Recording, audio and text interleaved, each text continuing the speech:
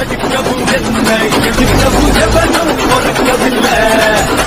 காத்து அடிக்கையில் கையால் அதை எவனும் குடிச்சதில்லை